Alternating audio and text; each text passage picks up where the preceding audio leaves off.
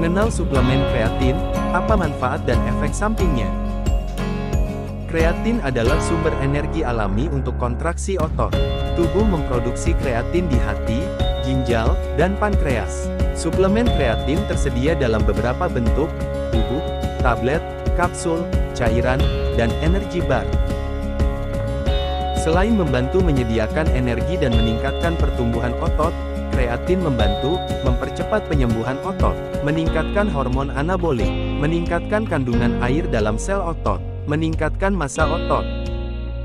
Selain bermanfaat untuk atlet atau orang yang sering berolahraga, suplemen kreatin juga bermanfaat untuk orang yang menderita penyakit diabetes, osteoartritis, fibromialgia, kurangnya aliran darah ke otot jantung, iskemia jantung.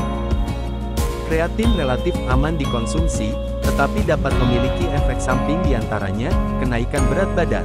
Kreatin menyebabkan otot menahan air, pusing, mual muntah, diare, keringat berlebihan.